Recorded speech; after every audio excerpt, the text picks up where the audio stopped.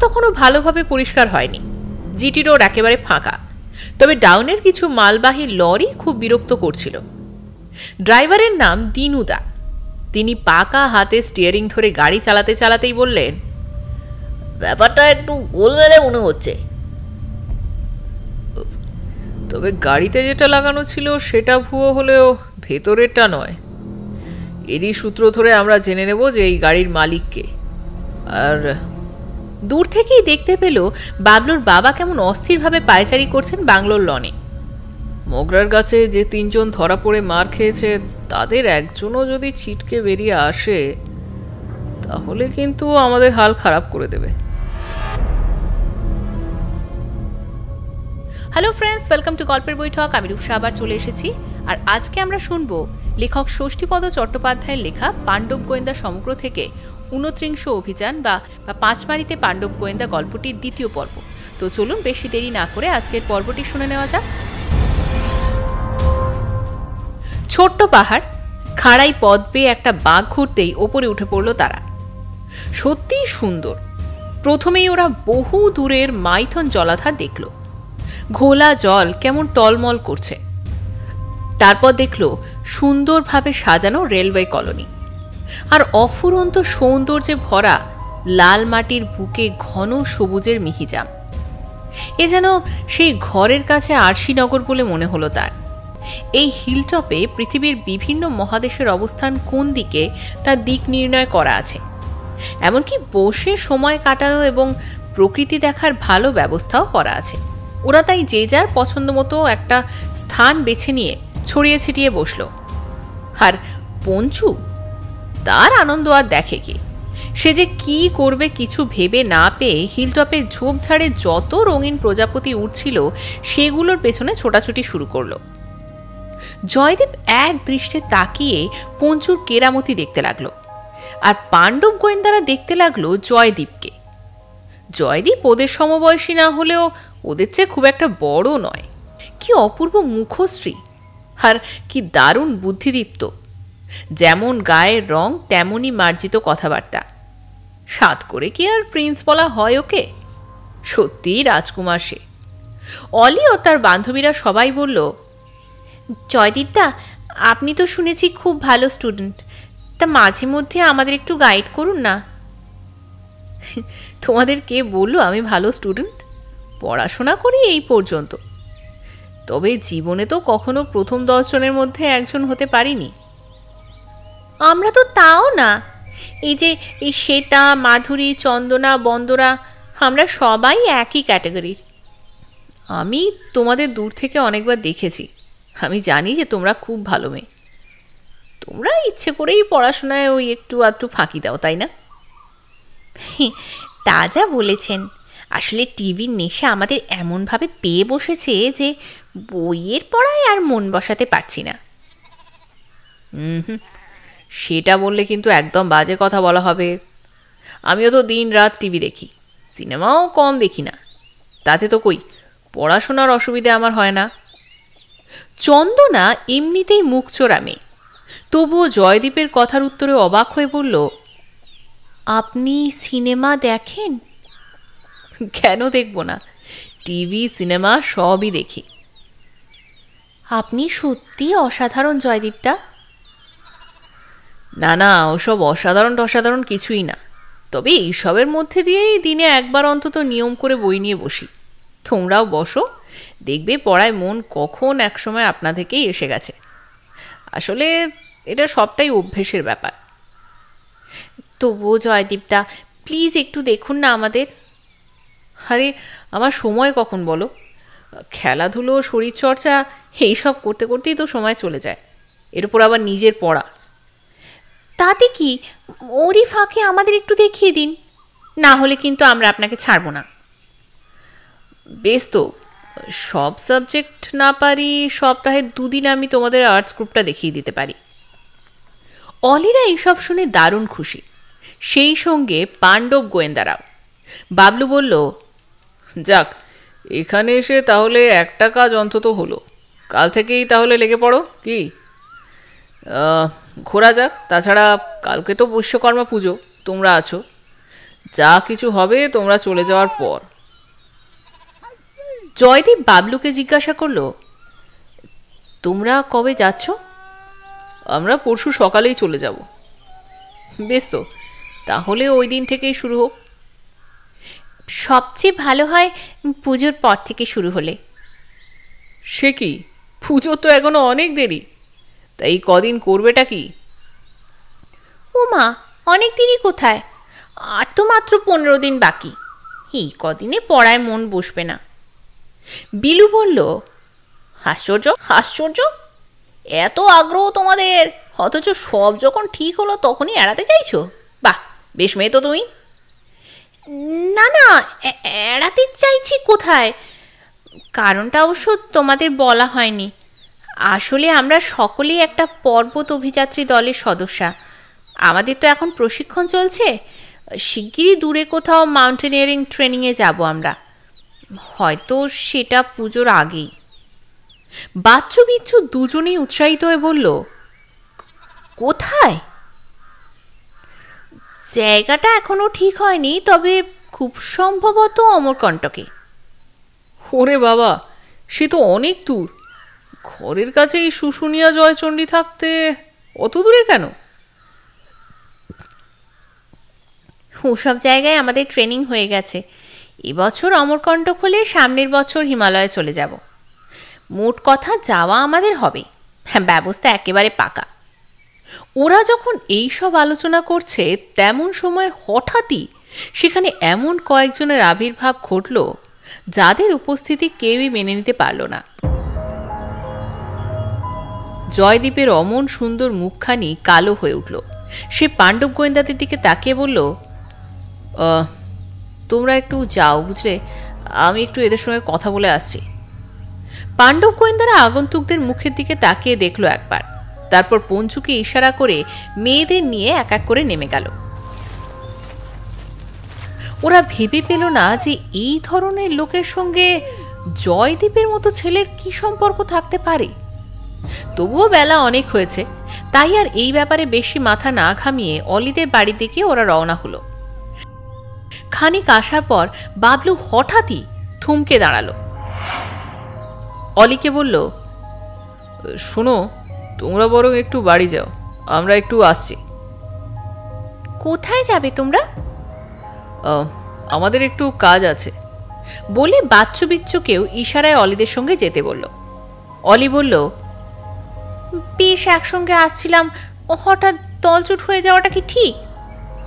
বন্দনা বাবলুর চোখের দিকে একবার তাকিয়ে কিছু একটা অনুমান করে বলল আহা আমাদের যখন যেতে বলছে তখন চলই না। বিচ্ছু দল থেকে সরে এসে বাবলুকে কাছে ডেকে বলল তুমি কি আরেকবার হিলটপে যেতে চাও বাবলুদা? হ্যাঁ আসলে ওখানকার পরিস্থিতি একটু অন্যরকম মনে হচ্ছে। আমারও মনে হচ্ছে জয়দীপটা কোনো চক্রান্তে জড়িয়ে পড়েছে জানো? আমারও ঠিক তাই ধারণা। সেই জন্য এই ব্যাপারটা কি তা জানতে ইচ্ছে করছে। অলিরা আর কথা না বাড়িয়ে বাচ্চু বিচ্ছুকে নিয়ে ওদের বাড়ির দিকে চলল। বাবলু বিলু আর ভোম্বল পঞ্চুকে নিয়ে রয়ে গেল সেখানে। বিলু বলল তুই কেন রয়ে গেলি আমি সেটা বুঝতে পেরেছি। তবে এবারে কি সুন্দর পাহাড়ি অভিযান? অবশ্যই। ওই লোকগুলোর আবির্ভাবের সঙ্গে সঙ্গেই কেমন যেন একটা অন্য রকমের গন্ধ পেলাম। আমি ওরে, তাছাড়া ওরা আসতে এই জয় তার মুখটা কেমন শুকিয়ে গেল দেখেছিস? দেখেছি বই কি, তাই তো একটু নজরে রাখতে চাই ওদের। মনে হয় নির্ঘাত কোনো বিপদ ঘটতে চলেছে ছেলেটার। বলে পঞ্চুকে ইশারা করে দ্রুত এগিয়ে চলল সুন্দর পাহাড়ের দিকে। খানিক এসে হিলটপে ওঠবার মূল পথ ছেড়ে খুব সন্তর্পণে ওরা পাথরের খাঁজ ধরে বিপদের ঝুঁকি নিয়েও ওপরে উঠল। পঞ্চুও উঠল ওই একই কায়দায়। তারপর ঘন একটি ঝোপের আড়ালে গা ঢাকা দিয়ে লক্ষ্য করতে লাগল ওদের গতিবিধি। ওরা মোট চারজন ছিল। একজনের কথা কানে এলো। আমাদের প্রস্তাবে তাহলে রাজি নও? বললাম তো ওই কাজ কোনো মতেই সম্ভব নয়। কিন্তু এর জন্য তোমার বাবাকে কি কঠিন মূল্য দিতে হবে তা কি জানো? আমার বাবাকে আপনারা চেনেন না, তাই এই কথা বলছেন। আমাকে খুন করে আমার লাশ আমাদের বাড়ির সামনে ফেলে রাখলেও উনি রাজি হবেন না আপনাদের প্রস্তাবে। তোমাকে খুন করার পর তোমার বাবা যে রাজি হবেন না, তা তো আমরা জানি। কেননা তার জেদ তো তখন আরও বেড়ে যাবে। কিন্তু একান্তই যদি রাজি না হন, তাহলে এই কাজ করা ছাড়া তো আর আমাদের কোনো পথ খোলা থাকবে না। বেশ তো, আপনাদের যা ইচ্ছে তাই করতে পারেন। আর সেই ইচ্ছেটা যদি খুব মারাত্মক হয়, হবে। আমার যা বলবার আমি বলেছি, এখন আপনারা যেতে পারেন। বাবলুরা সবাই লক্ষ্য করল। ওরা কিছু সময় চুপ থেকে বলল, বেশ আজকের মতো আমরা চলে যাচ্ছি। কাল সকালে আটটার সময় এক নম্বর গেটের কাছে থাকব। তোমার শেষ সিদ্ধান্তটা জানিও। রায়সেন চুক্তিতে রাজি হলে টাকার অঙ্ক দশ লাখ। আর না হলে বলেই একজন একটা রিভলভার বের করে ট্রিগার টিপল। শব্দ হলো খট করে, তবে গুলি বেরোলো না। কালকের পরে কিন্তু এখান দিয়ে আর খট করে শব্দ হবে না। তখন কিন্তু ডিসুম হবে, বুঝলে চাঁদু? জয়দীপ কোনো উত্তর না দিয়ে চুপ করে রইল। লোকগুলো আর অপেক্ষা না করে প্রস্তুত হলো যাওয়ার জন্য। যাওয়ার আগে তারা আর একবার স্মরণ করিয়ে দিল। কাল সকাল আটটা, এক নম্বর গেটের কাছে। কালই কিন্তু শেষ দিন, বুঝলে?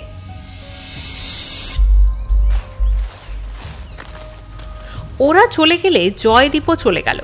বাবলুরাও তখন আত্মপ্রকাশ করল এক এক করে। ওরা সেই জায়গায় এসে দাঁড়াল যেখানে একটু আগেই নাটকের দৃশ্যের মতো ঘটনাটা ঘটে গেল। স্ট্রেঞ্জ? আচ্ছা বাবলু, লোকটা যখন রিভলভার বের করল, তখন আমি ভাবলাম, এই বুঝি দিল শেষ করে। ও যে গুলি করবে না তা আমি জানতাম। না হলে তো লেলিয়েই দিতাম পঞ্চুকে তবে কালকের ব্যাপারটা যে কোন দিকে মোড় নেবে তা ঠিক বোঝা যাচ্ছে না। ভোম্বল বলল আজই তো নিষ্পত্তি করে দেওয়া যেত ব্যাপারটা ওদের যেতে দিলি কেন? ওরা কি চায় তা তো ওদের মুখে শুনিয়ে একটা ব্যবস্থা করা যেত। উট করে কি কিছু করা যায়? জয়দাকে ওরা আক্রমণ করলে আমরা অবশ্য ছেড়ে দিতাম না। কিন্তু এখন আসল ব্যাপারটা কি তা তো জানতে হবে। আরে বাবা জানাজানির আছেটা কি বক্তব্য তো ওদের পরিষ্কার। রায় সেনের এই দুষ্ট চক্র অন্যায়ভাবে কোনো অবৈধ বিল পাস করিয়ে নিতে চায় বিষ্ণু প্রধানের মাধ্যমে। রেল ব্যবস্থাকে দিনে দিনে অবনতি ও লোকসানের দিকে এরাই তো ঠেলে দিচ্ছে। ওদের শর্ত মানলে ওকে আর না হলেই ডিসুম। ঠিক তাই। ওদের যা হাব ভাব দেখছি না, মনে হয় বাবার ওপর বদলা নিতে ছেলেকে ওরা মারবেই। তাই তো মনে হচ্ছে রে। এখন তাহলে উপায়? কি উপায়ে রক্ষা করা যাবে ওকে? রক্ষা তো ওকে করতেই হবে। বিশ্বকর্মা পুজো দেখা মাথায় থাক। কল্যাণেশ্বরী মাইথানে গিয়েও কাজ নেই। কাল সকালে আমরা এক নম্বর গেটের কাছে ঘাপটি মেরে থাকব। তারপর অবস্থা বুঝে ব্যবস্থা।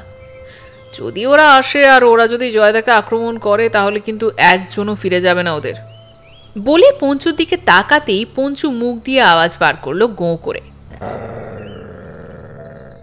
ওরাও আর রইল না ওপরে ধীরে ধীরে নেমে এলো। রোদ যেমন চড়া তেমনই ভ্যাবসা গুমট। বহু দূরের মাইথানের জলাধারের দিক থেকেও একটা কালো মেঘ ধেয়ে আসছে। মনে হয় খুব বৃষ্টি হবে। ওরা নেমে আসার সঙ্গে সঙ্গেই একটা অটো পেয়ে গেল। খুব একটা দূরের পথ তো নয়, তাই কিছুক্ষণের মধ্যেই পৌঁছে গেল মিহিজামে।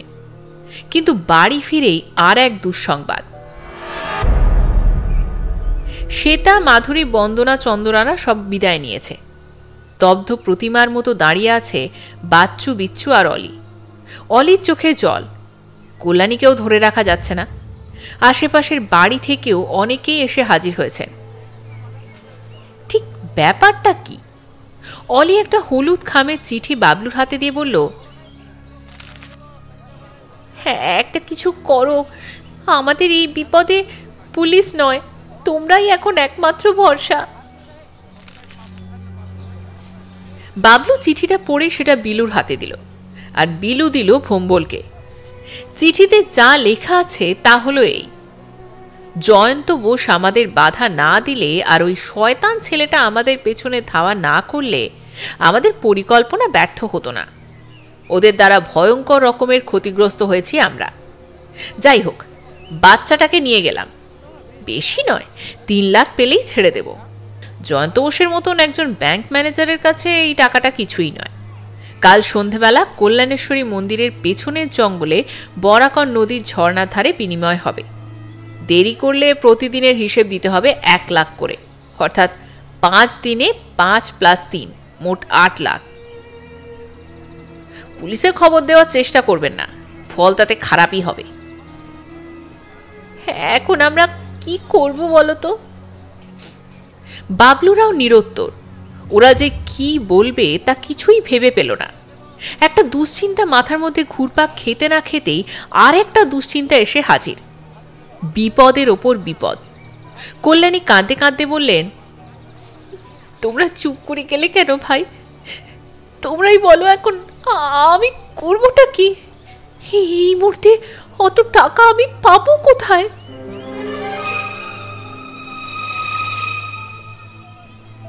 আচ্ছা জয়ন্ত জয়ন্তদাকে খবর দেওয়া হয়েছে বৌদি? হ্যাঁ ওনাকে খবর দেওয়া হয়েছে। উনি কি আসছেন? না বলেছেন যে কোনো রকম হুমকির কাছে মাথা না নোয়াতে।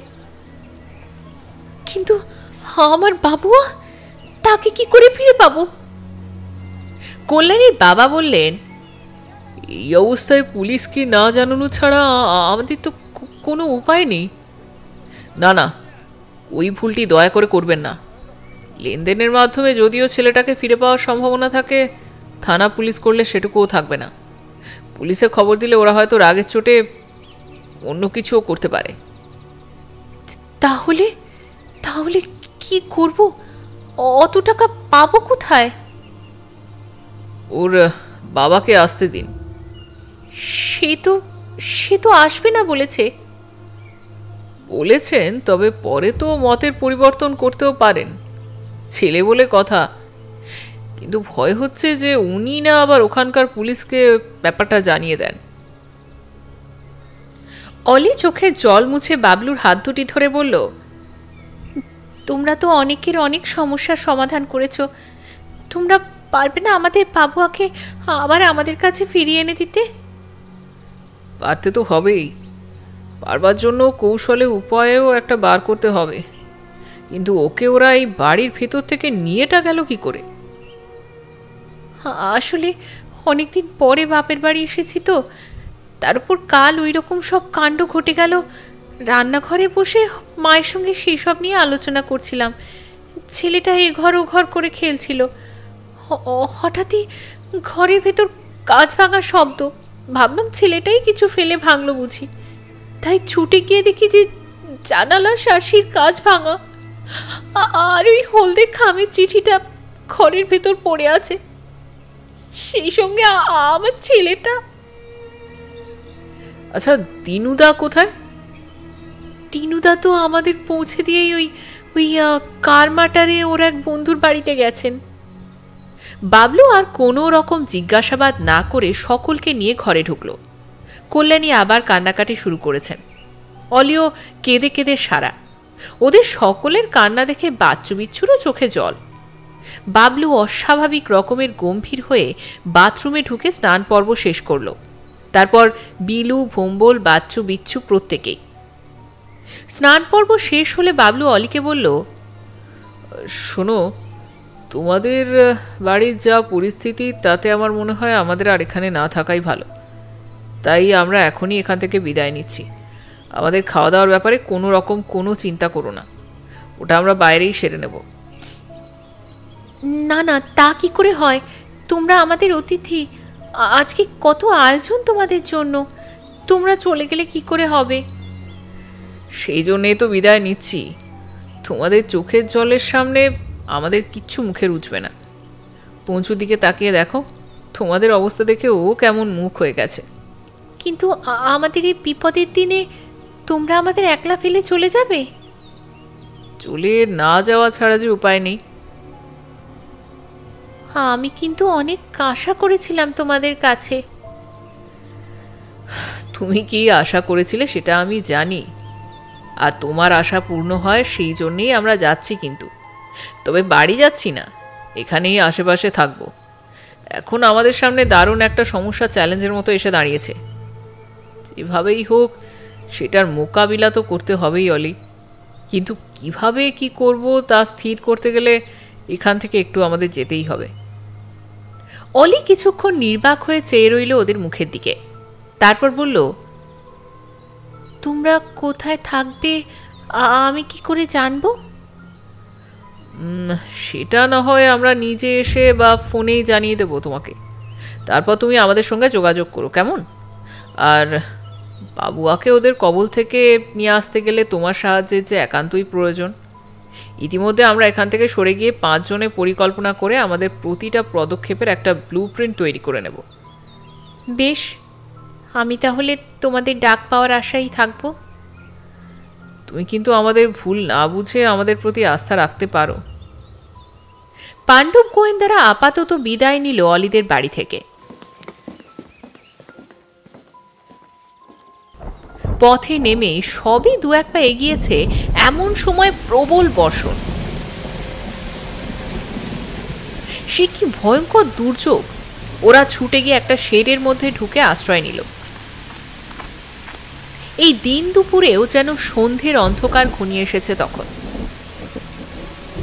চিত্তরঞ্জন মিহিজাম কোনো বড় শহর নয়, তাই হোটেল লজের আধিক্য নেই।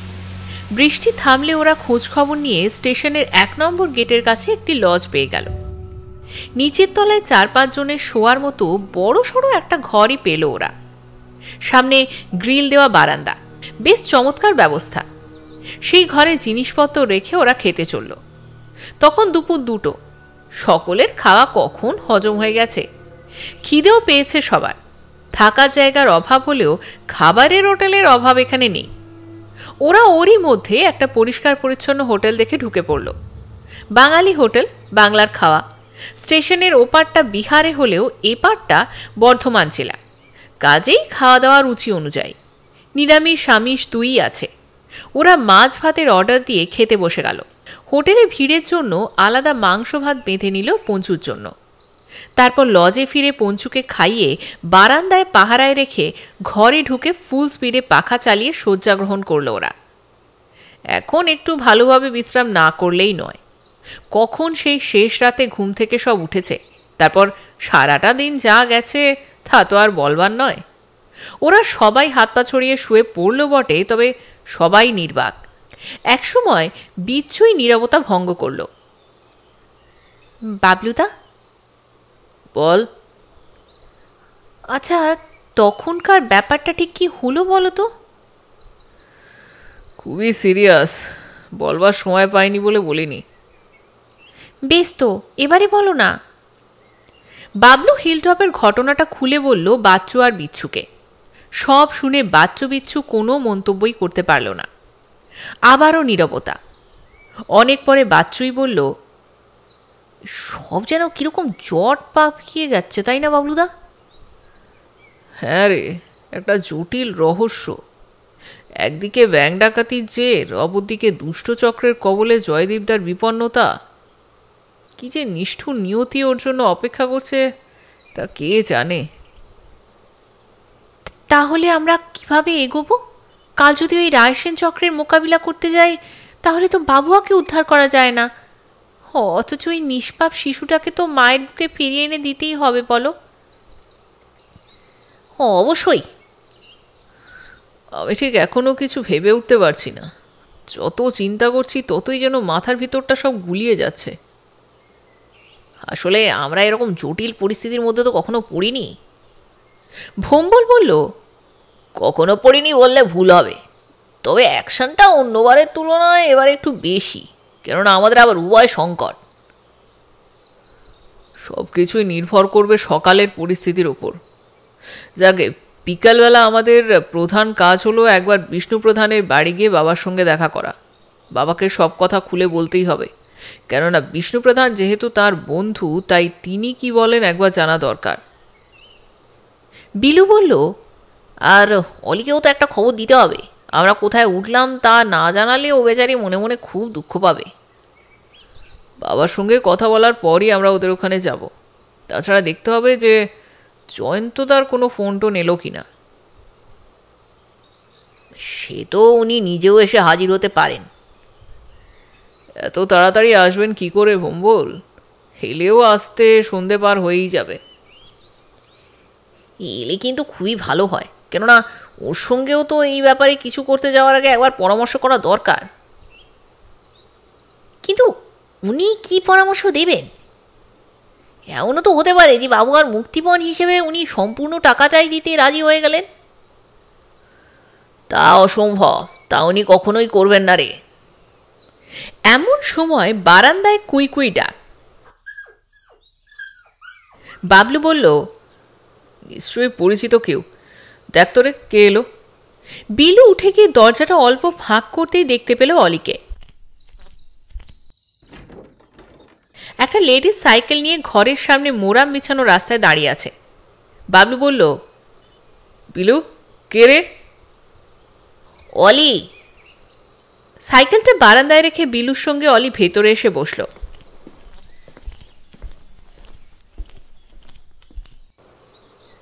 আমরা তো কোনো খবর দিইনি। তুমি কি করে জানলে যে আমরা এখানে উঠেছি? আমি তো এখানকারই মেয়ে। কাজেই এই অঞ্চলে হোটেল, লজ কোথায় কি আছে সবই আমার নখদর্পণে। তাই পাণ্ডব গোয়েন্দাদের খুঁজে বের করতে কোনো অসুবিধে আমার হয়নি। তবে একটা কথা, আমাদের যা হওয়ার তা তো হয়েইছে। আমাদের ব্যাপারে তোমরা কতখানি চিন্তা ভাবনা করলে তা তো জানি না। তবে তোমরা কিন্তু সাবধানে থেকো। হঠাৎ এই কথা কেন? কারণ আছে। আসলে ওই হলদে খামের চিঠিতে তোমরা জেনেছো যে ওদের রাগ তোমাদের উপর কতখানি।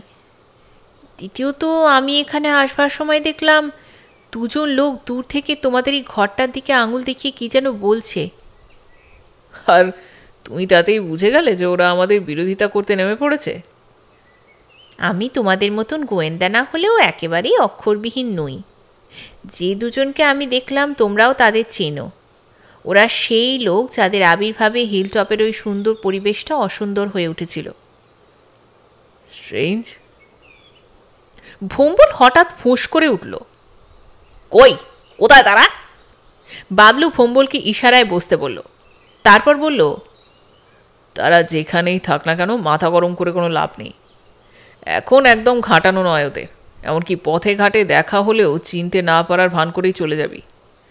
যেতে কথা বলতে গেলে এমন ভান দেখাবি যে আগে ওদের দেখেছি, সে কথা মনেও নেই তোদের। বিলু বলল, বাবলু ঠিকই বলছে। এখন ওদের দিকে মনোযোগ দিলে ওরা সতর্ক থাকবে। পাশ দিয়ে চলে যাব, তবু তাকাবো না, যাতে ওরা কোনোভাবেই আমাদের সন্দেহ না করে। ভম্বল বলল অর্থাৎ কাল সকালের পরিস্থিতি দেখার পর যা করবার করব এই তো। কাল সকালের পরিস্থিতি মানে? ওরা তো সন্ধ্যের পর বলেছে। তোমরা কি বলতে চাও বাবুয়াকে নিয়ে যাওয়ার পিছনে ওদেরও হাত আছে? দেখো অলি কোনো সিক্রেট ব্যাপার নিয়ে বাইরের কারোর সঙ্গে আমরা আলোচনা করি না। কিন্তু এক্ষেত্রে তোমার কাছে তো কোনো কিছুই গোপন রাখা উচিত নয়। তোমাদের বাড়ি থেকে আমাদের ওইভাবে চলে আসার আরও একটা কারণ আছে। শুধু বাবুয়া নয় আরও একজনের ব্যাপারে আমাদের মাথা ঘামাতে হচ্ছে। কে সে?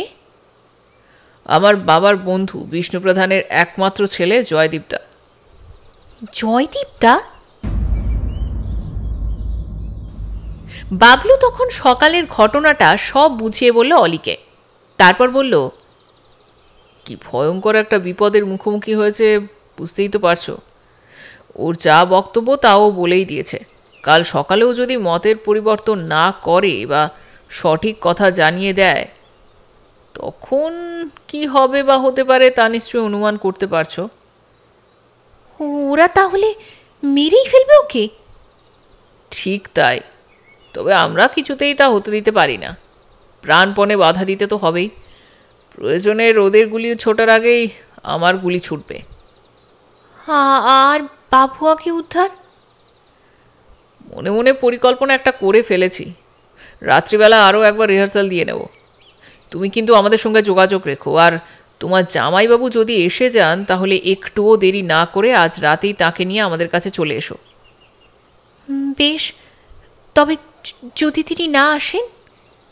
আসবেনি একান্তই যদি না আসেন তুমি এসো। তবে রাত্রে নয় কাল দুপুরের দিকে। তা তাই আসব। তোমরা কিন্তু আমার দিদির ছেলেটাকে তুমি চিন্তা না করে এখন বরং আসো। অলি যেন একটু আহত হয়ে নত মস্তকে বিদায় নিল। ও চলে গেলে পাণ্ডব গোয়েন্দারা সদল বলে বেরিয়ে পড়ল বিষ্ণু প্রধানের বাংলোর দিকে। এ পথ সে পথ করে যখন ওরা বাংলো এসে পৌঁছলো, তখন শুনল দুপুরের খাওয়া দাওয়ার পরই বাবা হঠাৎ করে দুর্গাপুরে চলে গেছেন। রাত তখন নটা। পাণ্ডব গোয়েন্দারা স্টেশনের ধারের একটি দোকান থেকে রুটি আর মুরগির মাংস খেয়ে লজে ফিরে শোয়ার আয়োজন করছে। এমন সময় দরজায় কারোর ঠকঠক করার শব্দ। কে? আমি আমি জয়ন্ত বোস। বাবলু একটু দেরি না করে দরজা ছিটকিনি খুলতেই জয়ন্তবাবু ভেতরে ঢুকলেন।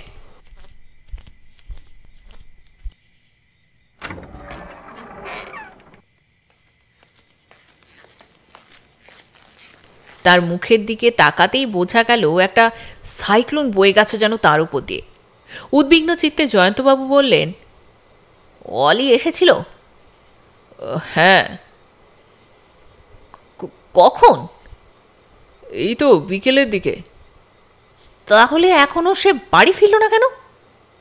বাবলু চমকে উঠল জয়ন্তবাবুর কথা শুনে। কি বলছেন আপনি? অলি এখনও ফেরেনি? না। আপনি তাহলে জানলেন কি করে যে আমরা এখানে আছি? অনুমানে কলকাতা থেকে আমি তো সবে আসছি এসেই শুনলাম যে অলি দুপুরবেলা নাকি তোমাদের খোঁজ নিতে বেরিয়ে আর ফেরেনি। তাই খোঁজ খবর নিতে নিতে এখানে এসে পৌঁছেছি। বাবলু ধপ করে বসে পড়ল বিছানায়। অলি না ঘরে ফেরার কারণটা ঠিক কি বলতো? ওরা কি ওকেও কিডন্যাপ করল? জানি না ভাই কিছুই মাথায় ঢুকছে না আমার। একে ছটফট করছি ছেলেটার জন্য, তার উপরে এই এক জ্বালা। আর এদিকে আমার শাশুড়ি ঠাকুরন তো কোনো কোনো অজ্ঞান হয়ে যাচ্ছেন। চোখের দৃষ্টি স্থির করে দেওয়ালের দিকে চেয়ে চুপচাপ বসে রইল সে। ভম্বল জিজ্ঞাসা করল আচ্ছা কোনো চিঠিপত্র পানি না তাহলে তো জানাই যেত যে কে বা কারা ওকে নিয়ে গেছে। এরা দেখছি ভয়ঙ্কর রকমের প্রতিশোধ নেবে বলে উঠে পড়ে লেগেছে। যাকে বাবুয়ার ব্যাপারে আপনি কি পুলিশকে কিছু জানিয়েছেন? না, এখনও জানাইনি। ভালোই করেছেন। তা ওর ব্যাপারে কি চিন্তা করলেন? টাকাটা দিয়েই দেব। আর টাকা জোগাড় হয়েছে? বহু কষ্টে। আমার সহকর্মীরা এই ব্যাপারে দারুণ সাহায্য করেছে আমাকে। ব্যাস, টাকার ব্যবস্থা যখন হয়েছে, তখন আর কোনো চিন্তা নেই। এখন চিন্তা শুধু অলির জন্য। বাবুয়াকে উদ্ধার আমরা করবই। সেই সঙ্গে চেষ্টা করব এই টাকাটা যাতে ওদের হাত থেকে আবার আমাদের হাতে ফেরত আসে। এই অসম্ভব কি সম্ভব? এখনই জোর দিয়ে তো কিছু বলা যাচ্ছে না। তবে চেষ্টা করতে দোষ কি বলুন? যা করলে ভালো হয় তাই করো ভাই। ছেলেটাকে না পেলে ওর শোকে আমরা দুজনেই হয়তো সুইসাইড করব। আপনি একটু ধৈর্য ধরুন দাদা হুট করে কিছু করবেন না। আপনারা দেখুন না কি হয়। আর একটু অনুগ্রহ করে কাল বেলা বারোটার পর আপনার গাড়িটা পাঠিয়ে দিতে পারবেন? ওই গাড়িতে করেই আমরা কল্যাণেশ্বরী যাব। আপনিও আমাদের সঙ্গে যাবেন। আর টাকাটা ঠিক কিসে রেখেছেন? একটা ব্রিফকেসের মধ্যে আছে। বেশ ওটা যত্নে রাখবেন। খুব লাগ ভালো যে পথেই চিন্তায় হয়ে যায়নি টাকাটা। আসলে আমি তো একা আসিনি। একজন আর্মস গার্ডও ছিল আমার সঙ্গে। কাল কি ওকে সঙ্গে নেব? না না, খবরদার নয়। শুধু আমরাই যাব এবং নির্ধারিত সময়ের অনেক আগেই পৌঁছে যাব আমরা। আপনি শুধু ঝর্ণার ধারে নিয়ে যাবেন আমাদের। ঝর্ণার তো মন্দিরের পেছনে সে যেখানেই হোক, আমরা তো আর পদঘাট চিনি না আমরা এই প্রথমবার যাচ্ছি। এমন সময় মনে হলো বাইরের দিক থেকে বন্ধ দরজার উপর কেউ একটা ইট বা পাথর ছুঁড়ে মারল। পঞ্চু ক্রুদ্ধ স্বরে একবার ভো ভো করে ডেকে উঠল। বাবলু বাইরের আলো জেলে দরজা খুলতেই দেখতে পেল একটা হলদে খামে চিঠি পড়ে আছে সেখানে। খামটা কুড়িয়ে নিয়ে এক নজরেই পড়ে ফেলল চিঠিটা। চিঠিতে যা লেখা আছে তার সারমর্ম অনেকটা এই রকম। এখনও পর্যন্ত আমাদের কাছে যা খবর তাতে থানা পুলিশ হয়নি। জয়ন্ত বোসকে দেখে আশা করছি টাকার ব্যবস্থাটা হয়েই গেছে। অবাধে ব্যাংক টাকাতিটা করতে দিলে এত টাকা গচ্চা যেত না বেচারির মেয়েটার জন্য চিন্তা করবার কিছু নেই, ওকে আমরাই নিয়ে এসেছি। বাচ্চাটা বড় কান্নাকাটি করছিল তাই, কাল টাকা পেলে দুজনকেই ছেড়ে দেব। চিঠি পড়ে চিঠিটা অন্যদের পড়তে দিয়ে বাবলু বলল, যাক, একটা ব্যাপারে একটু নিশ্চিন্ত হওয়া গেল। বাবুয়াটা অন্তত একজনকে তো পেল। অলি অনেক বড় সড়ো মেয়ে, ওর জন্যও চিন্তা নেই। আকস্মিক এই বিপদটাকে ও ঠিকই সামলে নেবে।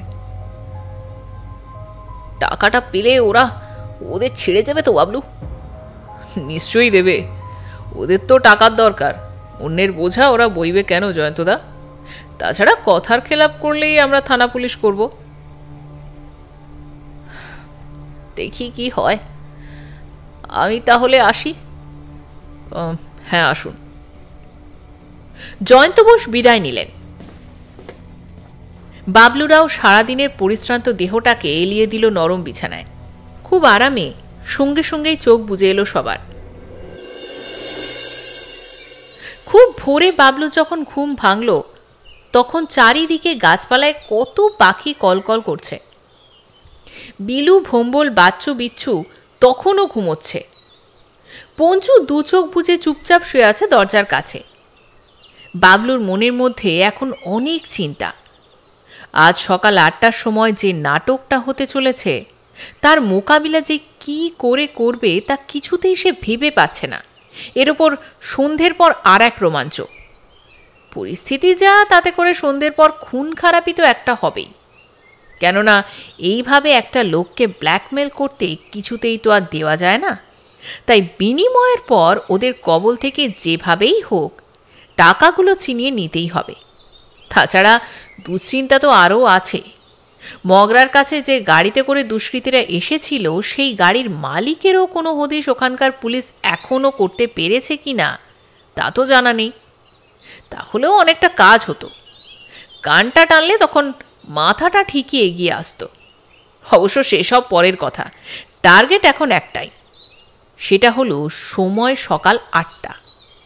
বাবলু কিছুক্ষণ এপাশ ওপাশ করে উঠে পড়তেই পঞ্চুও গা ছাড়া দিয়ে উঠে দাঁড়াল। বাবলু একবার বাথরুমে গেল, তারপর রোজকার অভ্যেস মতো খালি পেটে ঢকঢক করে খানিকটা জল খেয়ে পিস্তলটা বেশ ভালো করে পরীক্ষা করল। এরপর প্যান্ট জামা চেঞ্জ করে পিস্তলটা সঙ্গে রেখে ডেকে তুলল সকলকে। কিরে, সব মর্নিং ওয়াকে যাবি না? আমরা যেটা করি সেটা হচ্ছে ভোরনিং ওয়াক। এখনও ভোর আছে তো? আরে আছে আছে। ওট ওট উঠে পড় দেখি। বাবলুর ডাক পেয়ে এক এক করে সবাই উঠে পড়ল এবার। তারপর চোখে মুখে জল দিয়ে পঞ্চুকে সঙ্গে নিয়ে তারা ভরা আকাশের নিচে পা রাখল রাজপথে।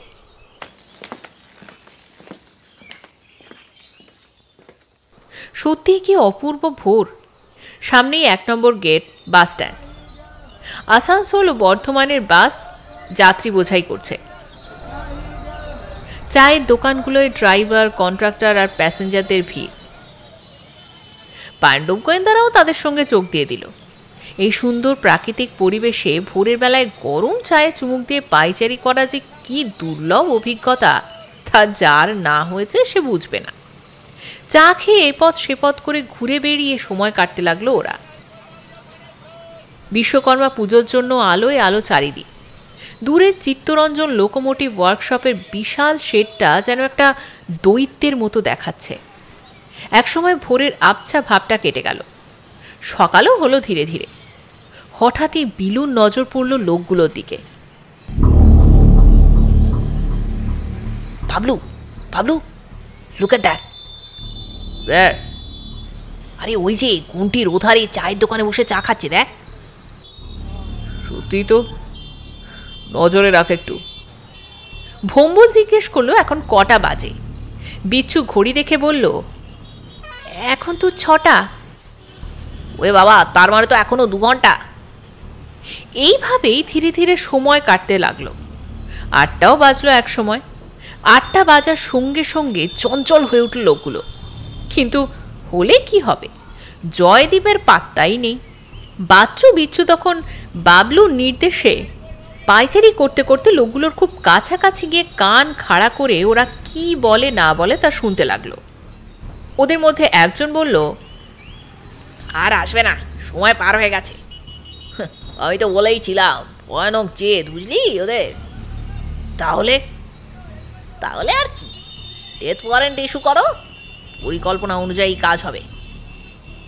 কিন্তু ওরা যদি আগে থেকেই ব্যাপারটা গভর্নমেন্টের নোটিসে এনে থাকে পুলিশে যদি খবর দিয়ে দেয়? হাহ, ওইসব ভয় করতে গেলে এইসব কাজে নামা উচিত নয়। পুলিশের ভয় করলে কি ক্রাইম করা যায় রে? হিমালয়ে গিয়ে তাহলে সাধু হয়ে বস থাক। হলে দেবো না কি গুলিটা এখনই শেষ করে? না না না খবরদার নয়। ছেলেটাকে প্রথমে কিডন্যাপ করা হবে। তারপর কোনো জঙ্গলে নিয়ে গিয়ে ছেড়ে দেওয়া হবে জ্যান্ত বাঘের মুখে। যাতে প্রমাণ হবে যে খুন বা অপহরণ নয়। অন্য জন্তুর আক্রমণেই মারা গেছে ছেলেটা। উপরন্তু ডেড বডিরও আর কোনো চিহ্ন থাকবে না। নিখুঁতভাবে সকল প্রমাণও লোক পেয়ে যাবে। নিজেদের মধ্যে ওরা যখন এইসব কথাবার্তা বলছিল, তখন ওদেরই একজনের চোখ পড়ল বাচ্চু বিচ্ছুর ওপর।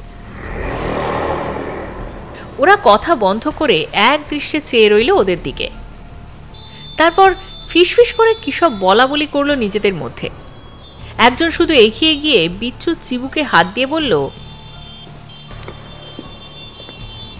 কি নাম তোমার খুকু? আমার তো অনেক নাম। ডাকনাম বিচ্ছু আর ভালো নাম সুর্পনাখা। হ্যাঁ? সে কি? তোমার মতো একটা ফুটফুটে মেয়ের কখনো এরকম নাম হয় নাকি? তুমি মিথ্যে কথা বলছো। এখানে কি করতে এসেছিলে শুনি? কেন? লক্ষণের নাক কান কাটতে? অল্প বয়সেই বেশি পেকে গেছো দেখছি হ্যাঁ? যাও যাও, এভাবে রাস্তায় না ঘুরে গিয়ে লেখাপড়া করো। আমরা অত্যন্ত বদ লোক বুঝলে? আমাদের কথাবার্তা কিছু শোনবার চেষ্টা করো না, কেমন? বলেই লোকটা ইশারায় অন্যদের যেতে বলে নিজেও চলে গেল সেই জায়গা ছেড়ে। বিনা যুদ্ধে সকালটা কেটে গেল দেখে বাবলুদেরও আনন্দের অবধি রইল না। তবু ওদের পরিকল্পনা তো জেনেছে। তাই সেই খবরটা দেওয়ার জন্য বিষ্ণু প্রধানের বাংলোর দিকে ওরা চলল। সস্ত্রিক বিষ্ণুপ্রধান তখন বাংলোর বাইরে যে ঘাস জমিটা আছে সেখানে পায়চারি করছিলেন। পাণ্ডব গোয়েন্দাদের দেখে দূর থেকেই হাত নেমে স্বাগত জানালেন। বাবলুরা দেখল বিষ্ণুপ্রধানের মুখে দুশ্চিন্তার এতটুকু ছায়াও নেই। বাবলু কাছে গিয়ে জিজ্ঞাসা করল আচ্ছা জয়দীপদা কোথায়? হ্যাঁ, কেন এই সাত সকালে আবার জয়দীপদাকে কি দরকার? না, আসলে কয়েকটা কথা বলতাম ওকে। তা সে তো নেই। কোথায় গেছে আপনি জানেন? ওর কিন্তু খুব বিপদ।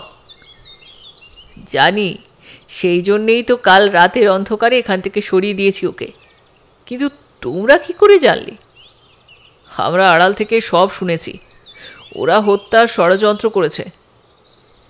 তাও জানি এই রাইসেন চক্রটা মোস্ট ডেঞ্জারাস। ওরা পারে না এমন কোনো কাজ নেই। ওইখানে থাকলে ওরা ওকে মারতই। তাই ওকে সরিয়ে দেওয়া ছাড়া আর আমার কোনো রাস্তা ছিল না। আপনি ঠিক কাজই করেছেন, তবে এবার তো ওরা আপনাকে আক্রমণ করবে। সে ওরা করতেই পারে, তবুও আমি ওদের জালিয়াতির ফাঁদে পা দিয়ে আমার আদর্শের পথ থেকে তো সরব না। আমার সততার ওপর বিশ্বাস রেখে কর্তৃপক্ষ আমাকে এখানে নিয়ে এসেছেন।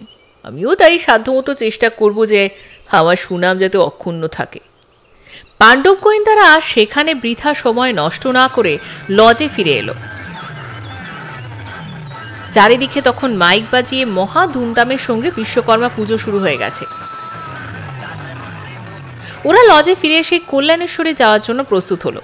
নির্দিষ্ট সময়ের অনেক আগে পৌঁছতে পারলে ওদেরই ভালো। কেননা পরিকল্পনা অনুযায়ী কাজ করতে গেলে পরিবেশ এবং পরিস্থিতি সম্বন্ধে একটু সচেতন হওয়া দরকার। কল্যাণেশ্বরী যখন তীর্থস্থান, তখন সেখানে রেস্ট হাউস বা ওই ধরনের কিছু নিশ্চয়ই তো থাকবেই। সময় হাতে থাকলে মাইথনটাও দেখে নেওয়া যাবে এক ফাঁকে। তারপর লড়ে যাবে দুষ্টের দমনে। তাই ওরা সব কিছু গুছিয়ে গাছিয়ে পঞ্চুকে সঙ্গে করে ওভারব্রিজ পেরিয়ে মিহিজামে অলিদের বাড়িতে এসে হাজির। কিন্তু বাড়ির কাছাকাছি এসে দেখল একটা অবাক কাণ্ড। একটা পুলিশের ভ্যান দাঁড়িয়ে আছে আর অনেক পুলিশ ঘোরাঘুরি করছে সেখানে। বাবলুর বুকের ভেতরটা সঙ্গে সঙ্গে ঢিপ করে উঠল। কি ব্যাপার বলতো? খারাপ কিছু হলো নাকি? এত পুলিশ কেন? জয়ন্তবাবু বেরিয়ে এসে বললেন আমার শ্বশুরমশাইয়ের কীর্তি। এত করে বোঝালাম তবু মেয়ের শোকে উতলা হয়ে থানা পুলিশ করে যাচ্ছে তাই একটা ব্যাপার করলেন। যা, তার মানে তো সব কিছুই বানচাল হয়ে গেল। পুলিশ যদি গিয়ে ওই জায়গায় তল্লাশি শুরু করে, তাহলে তো ওদের জীবন্ত অবস্থায় ফিরে পাওয়ার সম্ভাবনাও খুব কম। জয়ন্তবাবু মাথা ঠুকতে লাগলেন। কি সর্বনাশ হলো বলো তো ভাই? কি বলব বলুন? আর একটু তর হইল না ভদ্রলোকের? ওখানে কি আর যাওয়ার প্রয়োজন আছে? তা হয়তো নেই, তবে আমরা যাব পিকনিকের মেজাজ নিয়ে একটু বেড়াতে। জয়ন্তবাবু কিছুক্ষণ নীরব থেকে বললেন, তিনুদাকে বলা আছে, তিনুদাই তোমাদের নিয়ে যাবে। না জয়ন্তদা, আমরা একটু স্বাধীনভাবেই যেতে চাই। গাড়িটা থাকলে যে কোনো মুহূর্তে আপনাদেরই কাজে লাগবে। আমরা বাসে যাব। সন্ধে পর্যন্ত ঘুরে ফিরে আসব। তারপর সকালে যে যার বাড়িতে ফিরতে হবে। তাই যাও ভাই। তোমাদের তো কিছু বলার মতো আর মুখ নেই। অলির মা বাবা দুজনেই বোধহয় ভুলটা বুঝতে পেরে বাবলুর মুখের দিকে এমনভাবে তাকিয়ে আছে যে সে চাহনির অর্থ যে কি, বাবলুরা তা বুঝতে পারল না। এখানকার পুলিশ অফিসার তখন ঘরে বসে কল্যাণীর সঙ্গে কথা বলছিলেন। এবার বেরিয়ে এসে সকলকে দেখেই বললেন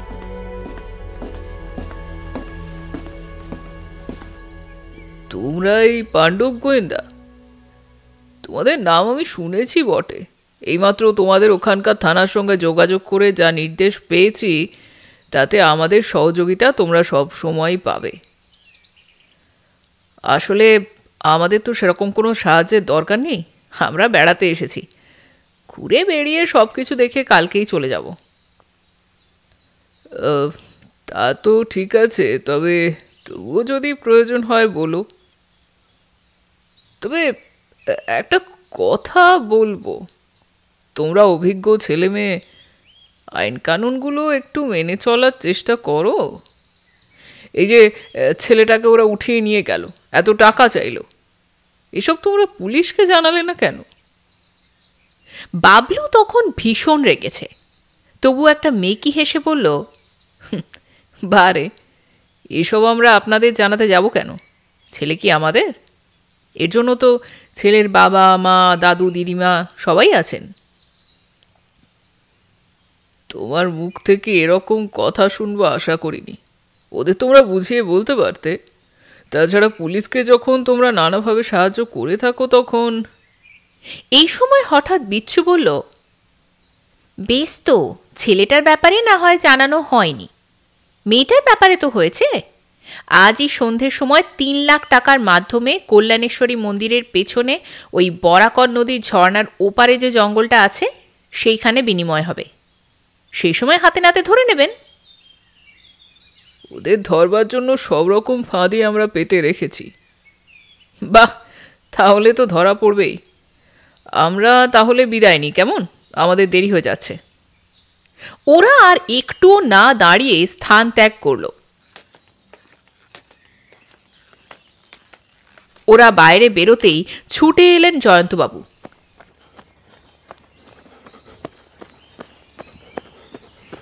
বাবলু বাবলু! বলুন দাদা। ওদের ওপর রাগ করে আমার পাশ থেকে সরে যেও না ভাই। আমার বাবুয়াকে আমার কাছে এনে দাও। ওরা তোমাদের আর কতটুকু জানে? প্লিজ প্লিজ ভাই। এখন যা হয়ে গেল, তাতে আমাদের আর কিছু করার নেই, জয়ন্তদা। আপনি নিজেও তো বুঝতে পারছেন পাকা ঘুঁটি কীভাবে কেঁচে গেল। এই থানা পুলিশের ব্যাপারটাকে এতক্ষণ ওদের কাছে পৌঁছোয়নি ভেবেছেন? ফলে ওরা আদৌ আর ওইদিকে যাবেই না। বাবু আর অলিকেও ফেরত পাবেন না আপনারা। আমার এখন একটাই ভয়, ওদের মেরে ওরা প্রতিশোধ না নেয়। হা- আমি এখন কি- করব তাহলে? ভগবানকে ডাকুন আর পুলিশের সঙ্গে থাকুন। ভগবান! বাবলুরা বিদায় নিয়ে এক নম্বর গেটের কাছে এসে বাসে উঠতে গেল। কিন্তু না, বাসে যা ভিড় তাতে পঞ্চুকে উঠতেই দিল না কেউ। অবশেষে একজনের সহযোগিতায় ওরা একটা জিপ ভাড়া করে কিছুক্ষণের মধ্যেই কল্যাণেশ্বরীতে গিয়ে পৌঁছলো। কল্যাণেশ্বরী যে এত ভালো জায়গা, তা কেই বা জানতো? জিপ ওদের নামিয়ে দিয়েই বিদায় নিল।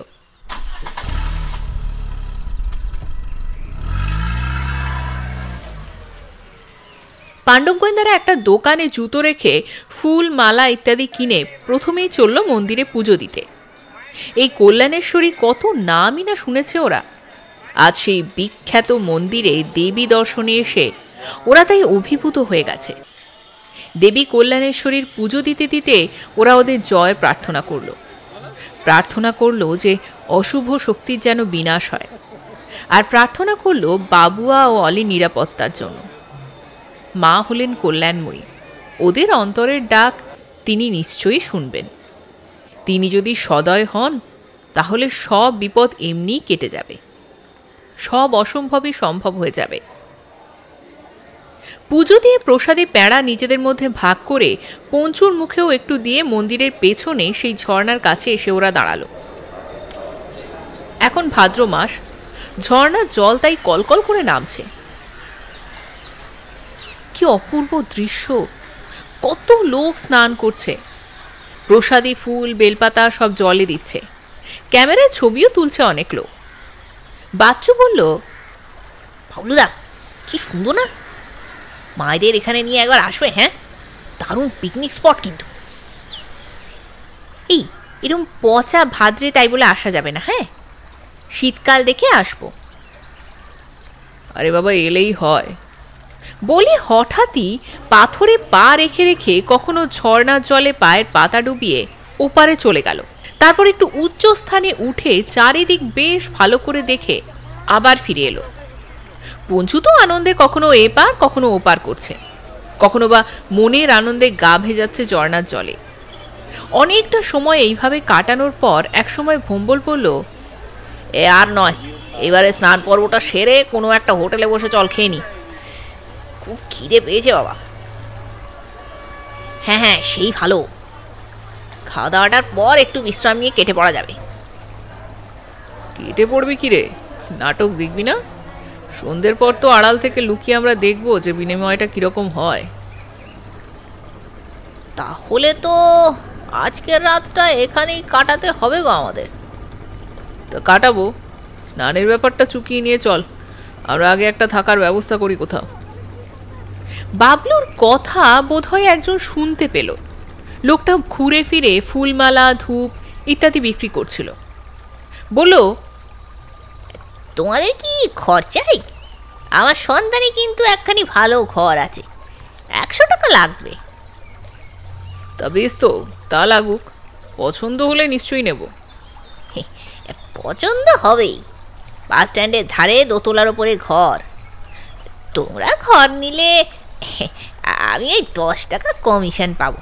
নাও না ভাই গরিব মানুষ আমি খুব উপকার হয় তাহলে। এই করেই তো দিন চলে আমার। বেশ তো একটু অপেক্ষা করুন আমরা স্নানটা সেরে নিই। হ্যাঁ হ্যাঁ আমি এইখানেই আছি। বলে আবার তার কাজ করতে লাগল। বাবলুরাও দেরি না করে এক এক করে নেমে পড়ল ঝর্ণার জলে। স্নানের পরিকল্পনা ওদের আগে থেকেই ছিল তাই সেইভাবেই ওরা তৈরি হয়ে এসেছে। স্নান সেরে লোকটির সঙ্গে চলল ঘর দেখতে। ঘর দেখেই পছন্দও হয়ে গেল। বেশ বড় সড়ো ঘরখানা বাথরুমটা আলাদা। অবশ্য তা হোক, ছজনের শোয়ার ব্যবস্থা আছে ঘরে। আর ওরা তো পাঁচজন, কাজেই কোনো অসুবিধেই হবে না। সেই ঘরই ওরা একশো টাকায় পেয়ে গেল। বাবলু টাকাটা মালিকের হাতে দিয়ে দশটা টাকা লোকটিকে দিতেই লোকটি বলল না না ভাই হে তোমরা দেবে কেন? আমার কমিশন আমরা এখান থেকেই পাবো। কারও কাছ থেকে বেশি তো নেব না ভাই। তা হোক আপনাকে দেখে মনে হচ্ছে যে আপনি সৎ লোক। আমরা এটা খুশি হয়েই আপনাকে দিচ্ছি। তোমরাদের তোমাদের ভালো হোক বাবা। কোনো রকম অসুবিধে হলেই আমাকে জানিও কেমন? আমার নাম ভানু, এই ফুলমালা বেচি। সবসময় এখানেই থাকি। আচ্ছা ভানুদা, একটা কথা জিজ্ঞেস করি। এখানে নির্ভয়ে চারিদিকে ঘুরে বেড়ানো যাবে তো? মানে কোনো বদ লোকের পাল্লায় পড়ার আশঙ্কা নেই তো? আরে না না, সেসব ভয় নেই। চোর ডাকাতের জায়গাটা নয়। এখানে কেউ বদমাইশি করতে এলে না মেরে তাকে ঠান্ডা করে দেবো। বলে লোকটি চলে গেল। বাবলুরা তখন ভালো একটা হোটেল দেখে দম ভর খেয়ে পঞ্চুকে খাইয়ে ঘরে এলো বিশ্রাম নিতে। ভম্বল তার বিছানায় দেহটা এগিয়ে দিয়ে বলল, কাল সকালেই তো যাচ্ছি আমরা নাকি? দেখা যাক সন্ধ্যের পর কি হয়। আরে বাবা কি আর হবে? পুলিশে তখন বলল ওরা নাকি ওদের ধরবার জন্য সব রকমের ফাঁদ পেতে রেখেছে। হাহ, কোথায় কি? আমি তো চারিদিক লক্ষ্য করে কাউকেই দেখতে পেলাম না। এই সময় বিলু বলল পুলিশ অত বোকা নয়। তাহলে অত বড় বড় ক্রিমিনালরা সব ধরা পড়তো না। তবে কি না আজকের ব্যাপারটা একটু চুপিসারে হয়ে গেলেই ভালো হতো। এখন ফাঁদ যেমনই হোক না কেন শিকার আসছে না। ওগুলোকে ধরবার আমি একটা চমৎকার প্ল্যান করেছিলাম। ওরা ব্রিফকেস নিয়ে অলিয়ার বাবুয়াকে ফেরত দিলেই পঞ্চু পেছন দিক থেকে আচমকা ঝাঁপিয়ে পড়তো ওদের ওপর। আর সেই সুযোগে আমি ব্রিফকেসটা ছিনিয়ে নিতাম ওদের কাছ থেকে। তারপর গোলমাল বুঝলেই পিস্তল। তাই এতে কি আর সমস্যার সমাধান হতো বাবলুদা? সাময়িকভাবে হতো। টাকাগুলো তো বাঁচতো আর ছেলেমেয়েও ফেরত আসতো। পরের ব্যাপারটা অবশ্য পুলিশ সামাল দিত। এইভাবেই আলোচনা করতে করতে অনেকটা সময় পার হয়ে গেছে। ঘড়ির কাঁটায় পাঁচটা বাজার সঙ্গে সঙ্গেই পঞ্চুকে নিয়ে বেরিয়ে পড়ল ওরা। যতটা সম্ভব দূরত্ব বজায় রেখে প্রত্যেকে আলাদা আলাদা হয়ে ঘুরে বেড়ালো। কিন্তু কি আশ্চর্য! না এলো পুলিশের গাড়ি আর না জয়ন্তদা। ওরা বৃথাই সময় নষ্ট করল। সন্ধে উত্তীর্ণ হয়ে যাওয়ার অনেক পরেও কেউ যখন কোনো দিক থেকেই এলো না তখন ওরা হতাশ হয়ে ফিরে এলো ঘরে। বাবলু মন মরা হয়ে বসে রইল ওর বিছানায়। আরে কেন এত চিন্তা করছিস বলতো? এরকম হবে তা কি তুই জানতিস না? তা নয় ভাবছি ওরা এলো না কেন? হয়তো বুঝেছে যে এসে কোনো লাভ নেই তাই বিচ্ছু জানালার ধারে দাঁড়িয়ে নিশ্চুপ হয়ে তাকিয়েছিল বাইরের দিকে। হঠাৎই কি দেখে যেন সচকিত হয়ে উঠল সে। বলল বাবলুদা বাবলুদা এদিকে এদিকে শিগগির এদিকে এসো তো। কেন রে? আরে ইস্যুই না। এইমাত্র একটা অ্যাম্বুলেন্স এসে থামলো। আর শুধু বাবলু নয় সবাই ছুটে এলো জানলার কাছে। এসেই দেখল একজন লোক একটি দোকানের সামনে দাঁড়িয়ে সিগারেট কিনছে। লোকটির গালে, কপালে ব্যান্ডেটের পট্টি। ওরা এক নজর তাকে বুঝলো যে এটা আর কেউ নয়, ভীমা। কিন্তু ভীমা এখানে এলো কি করে? তবে কি? বাবলু এক মুহূর্ত দেরি না করে পঞ্চুকে নিয়ে দ্রুত নেমে এলো নিচে। ততক্ষণে ভীমা অ্যাম্বুলেন্সে স্টার্ট দিয়েছে। ও যেতে যেতেই উধাও হয়ে গেল সে। ভানুদা আশেপাশে কোথাও বোধহয় ছিলেন। তাই কাছে এসে বললেন কি ব্যাপার বলো তো? কোনো অসুবিধে হচ্ছে না তো? হলে বলো কিন্তু। আচ্ছা দাদা, এইমাত্র যে অ্যাম্বুলেন্সটা এখান দিয়ে গেল সেটাকে দেখেছেন? হ্যাঁ ওটা তো ওই রায়সেন কোম্পানি অ্যাম্বুলেন্স। ঠিক জানেন? আরে বাবা না জানলে বললাম কি করে? যেভাবেই হোক ওই অ্যাম্বুলেন্সটাকে ধরতেই হবে। অসম্ভব। আপনি একটু সাহায্য করলেই সম্ভব হবে। আপনি এক্ষুনি কারও কাছ থেকে ম্যানেজ করে একটা স্কুটারের ব্যবস্থা করে দিন তো আমাকে। তা না হয় দিলাম কিন্তু এই রাত্রিবেলায় অচেনা জায়গায় কোথায় যাবে তুমি? তাছাড়া ওরা তো লোক ভালো নয়। ওই অ্যাম্বুলেন্সে রোগীও থাকে, আবার চোরাই জিনিসও থাকে। যাই থাক, আগে আপনি আমার ব্যবস্থা করুন। ততক্ষণে বিলু, ভম্বল, বাচ্চু, বিচ্ছু সবাই নেমে এসেছে। ভানুদা তখনই এই বাড়ির মালিকের স্কুটারটি চেয়ে বাবলুকে দিলেন। বাবলু সকলের কাছ থেকে বিদায় নিয়ে, জয় মা বলে পঞ্চুকে স্কুটারে বসিয়ে ঝড়ের বেগে উড়ে চলল। অ্যাম্বুলেন্স যে পথে গেছে সেই দিকে।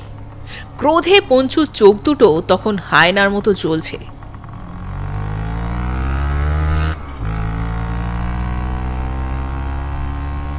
পাহাড়ের গা বেয়ে মসৃণ পিছালা পথ ধরে একে বেঁকে অনেক দূর যাওয়ার পর একসময় অ্যাম্বুলেন্সটা চোখে পড়ল।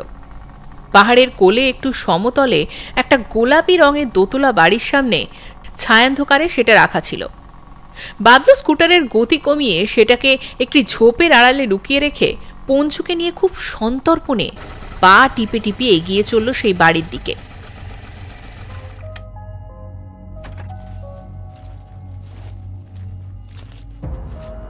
বাড়ির ভেতরে আলো জ্বলছে। তার মানে লোক আছে ভেতরে। কিন্তু ভেতরে ঢোকবার সহজতম কোনো পথই কোথাও নেই। এমনকি জল নিকাশের দেওয়াল পাইপও নেই। ও তবুও অ্যাম্বুলেন্সের কাছে এসে উঁকি মেরে দেখে নিল ভেতরটা। সেটাও ফাঁকা। সাদা রঙের মারুতি ভ্যানের অ্যাম্বুলেন্স। তার গায়ে বড় বড় অক্ষরে লেখা আছে, রায়সেন অ্যান্ড কোম্পানি সে ভেবে পেল না, এই চক্রটার সঙ্গে ভীমার সম্পর্ক কি। তবে কি ওই ব্যাংক ডাকাতির চক্রেও রায়সেন কোম্পানি জড়িত? নাকি এরাই তারা? যাই হোক, ভীমা নিশ্চয়ই ভেতরে গেছে। এখন ওর বেরিয়ে আসার সময় পর্যন্ত অপেক্ষা করা ছাড়া উপায় নেই। কিন্তু যদি না আসে? বাবলু ঠিক ভেবে পেল না যে এই মুহূর্তে সে করবেটা কি। বাড়ির ভেতরে ঢুকতে পারলে অনেক রহস্যই অবশ্য জানা যাবে, কিন্তু ওই দুর্ভেদ্য দুর্গে সে ঢুকবে কি করে? হঠাৎই পরপর কয়েকটা গুলির শব্দে কেঁপে উঠল বাড়ির ভেতরটা। অমন যে পঞ্চু, সেও যেন কেমন হয়ে গেল। পিঠে শিরদাঁড়া টান করে ভয়ঙ্কর মূর্তি ধরল সে। বাবলু পিস্তলটা হাতে নিল। কে কাকে গুলি করল তা কে জানে? একটু পরেই বাড়ির দরজা খুলে গেল। জমদূতের মতন দুজন লোককে নিয়ে সুটবুট পরা একজন ওলের মতন লাল মুখো একটি লোক ব্রিফকেস হাতে মিলিটারি মেজাজে বেরিয়ে এলো বাড়ি থেকে। কি অমানসিক চেহারা তার। মুখটা যেন জ্বলন্ত আগ্নেয়গিরি। ওরা গিয়ে অ্যাম্বুলেন্সে বসতেই দুজন লোক স্ট্রেচারে করে কাকে আনতে যেন বয়ে আনলো।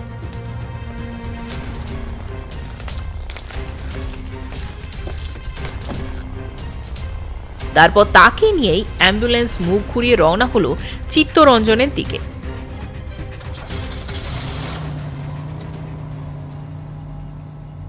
বাবলু ইচ্ছে করলে এই মুহূর্তে পঞ্চু সাহায্য নিয়ে বাধা দিতে পারত লোকটাকে, কিন্তু ফল তাতে খারাপই হতো। কেননা এই বাড়ির রহস্য অনাবিষ্কৃতই থেকে যেত তাহলে। এই বাড়িতে এখন কে আছে, কি আছে? আর গুলি করে কাকেই বা মারা হলো? কাকে নিয়ে যাওয়া হলো? ভীমা কোথায়? এসবের কোনো কিছুই তাহলে জানা যাবে না। সবই অজানা থেকে যাবে। তাই ওরা চলে যাওয়ার পর বাবলু বাড়ির ভেতরে ঢোকবার উপায় ভাবতে লাগল। সবে দু এক পা এগিয়েছে, এমন সময় দেখল একজন লোক বেরিয়ে এসে টর্চের আলো ফেলে চারিদিক বেশ ভালো করে দেখছে। বাবলু একটা পিপল গাছের গোড়ায় লুকিয়ে পড়েছিল তাই রক্ষে। না হলে ধরা পড়ে গিয়েছিল আর কি। লোকটা সব কিছু দেখে নিয়ে ভেতরের লোকেদের আলোর সংকেত দিল। অমনি দেখা গেল দুজন লোক একটা ডেড বডিকে টেনে হিঁচড়ে নিয়ে এসে পাহাড়ের খাদের দিকে চলে গেল। টর্চ হাতে লোকটাও গেল ওদের সঙ্গে। বাবলু আর মুহূর্ত মাত্র দেরি না করে ঢুকে পড়ল বাড়ির ভেতর। বাবলু একা নয়, পঞ্চুও ঢুকলো। বাড়ির নিচের তলায় দুটো ঘর আর ওপরে দুটো। একপাশে সিঁড়ি আছে। সিঁড়িতে চাপ চাপ রক্তের দাগ। কোন হতভাগ্যের যে রক্ত, তা কে জানে? বাবলু পঞ্চুকে নিচে পাহারার জন্য রেখে উপরে উঠল।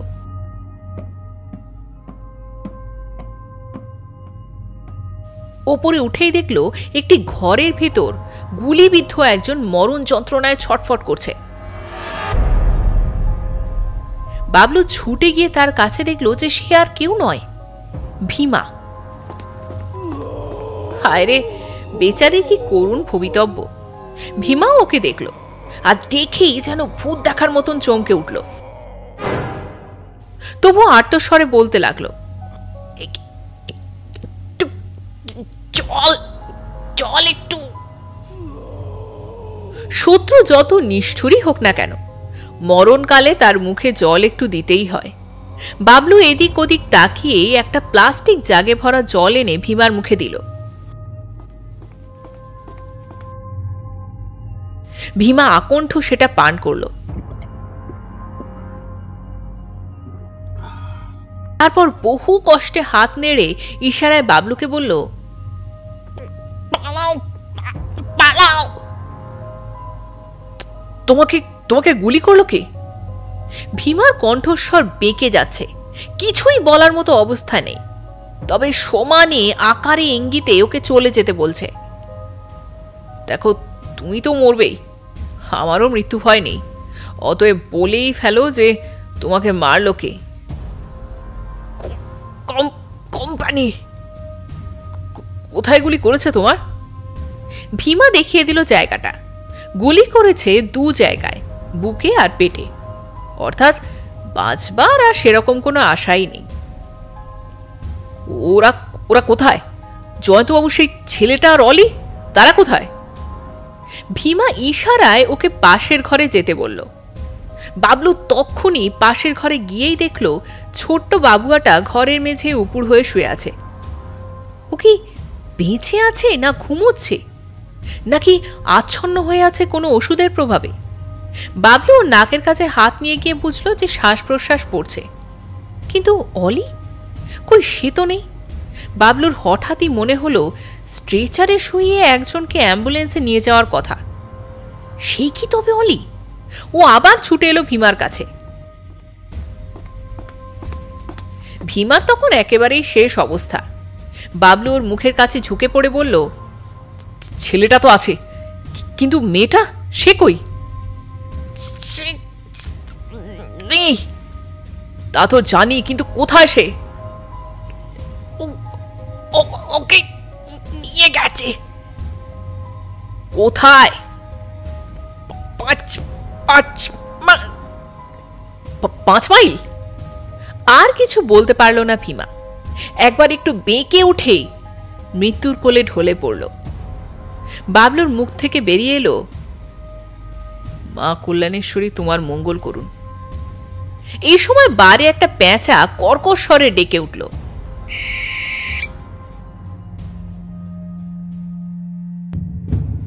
আপনারা শুনছিলেন লেখক ষষ্ঠীপদ চট্টোপাধ্যায়ের লেখা পাণ্ডব গোয়েন্দার সমগ্র থেকে পাণ্ডব গোয়েন্দার উনত্রিংশ অভিযানের দ্বিতীয় পর্ব।